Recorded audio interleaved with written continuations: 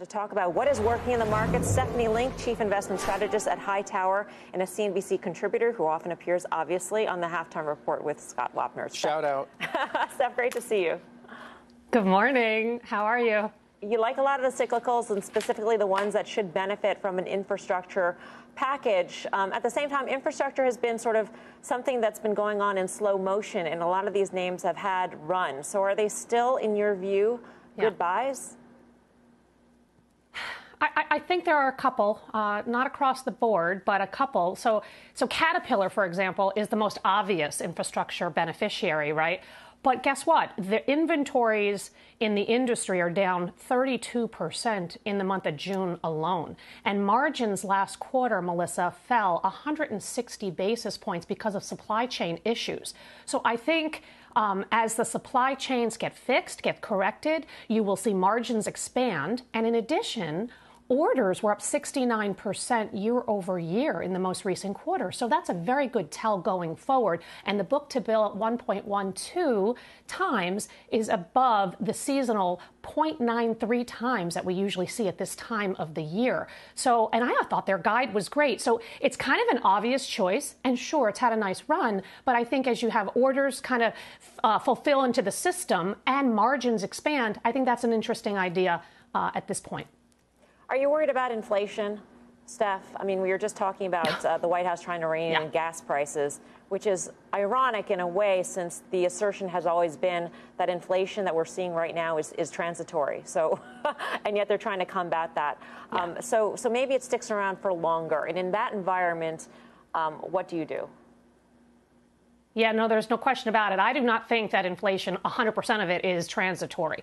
I do think the commodity side of things is easing and that's helping, but the CRB is still up 57% from the April lows. Livestock is up 89%, and even copper, which has rolled over for sure, it's still up 87% in the last 15 months. So there's definitely inflation out there. Maybe maybe a little bit less on the commodity side as it starts to ease, but wages and shelter costs really are something that I think are much more sticky. What are companies doing about it? It's really been impressive to see the pricing power that these companies have um, really seen and been able to, to achieve. And so I think that's really what you're going to see. And that should also help hold margins in there, if you will, uh, for the for the time being. Look, these companies over the last 18 months have massively reduced cost, have restructured, have done everything they can just to survive. And now I think as demand starts to improve, margins should stay firm, and you should see operating leverage, which is why I actually do like the cyclicals because they do have the most operating leverage. Steph, uh, Fed speakers this week have definitely tilted a little more hawkish. Uh, and there's yeah. been folks who have come out and said that the market can withstand a taper, even if it comes earlier than expected. Do you agree? Yeah, because I think the economy is actually a lot stronger than people are giving it credit. I know you and I have talked a lot about peak growth, and people are concerned. We're not going to see 9% GDP growth for the next couple of quarters, but I do think all this stimulus in the system will lead to above trend growth. So maybe we go 9% GDP to like 4 or 5% next year. I still think that's very, very healthy.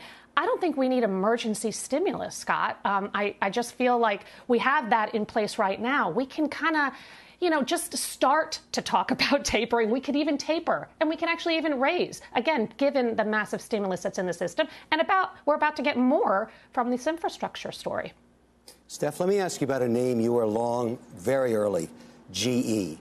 It's been a huge winner. I think you're still in it. I don't know. I've added always to it. She's added to it like in the last day or two. Yeah, I have always hated it, but I, I was wrong. And uh, how much of this do you think came from the from the stimulus bill? Because it's had a hell of a run.